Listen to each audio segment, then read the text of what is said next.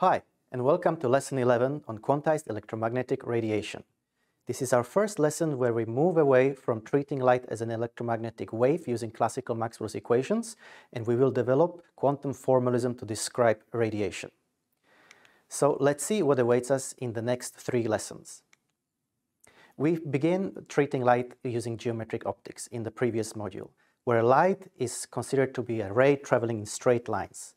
And this allowed us to talk about phenomena like refraction, reflection, absorption, and we applied it to discuss uh, uh, fibers and how to transport light across long distances.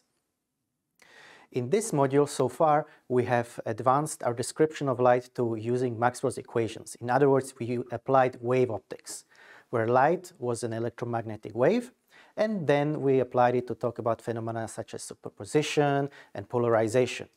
And in particular, we saw how light behaves in different ways when it interacts with optical media, such as dielectrics or metals.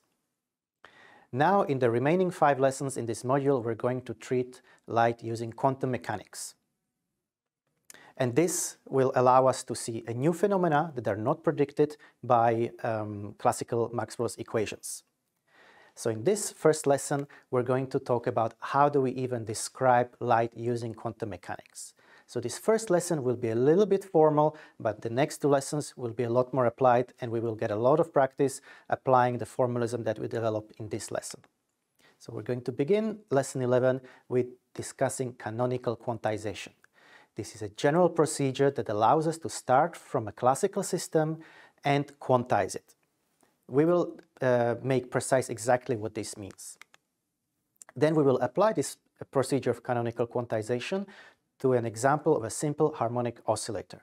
This is a ubiquitous system that appears everywhere in classical mechanics as well as quantum mechanics as we will see.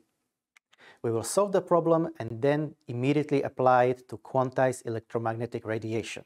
And that's because a single mode of quantum radiation can be treated as a simple harmonic oscillator. In the next lesson, as I said, we will apply our formalism of quantum mechanics to describe light, and we will begin with observables and number states.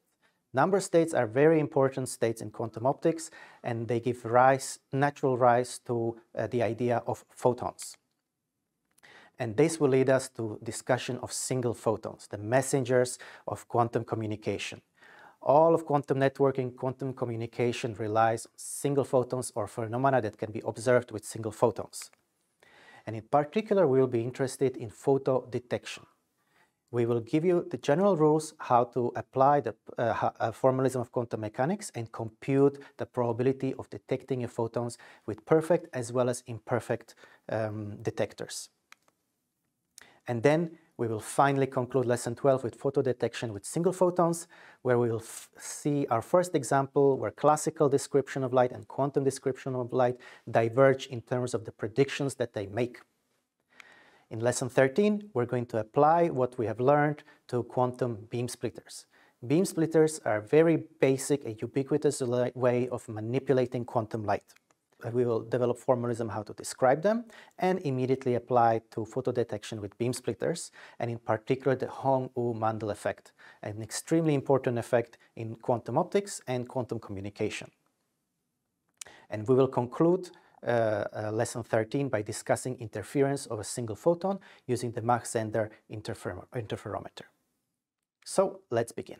See you in the next step.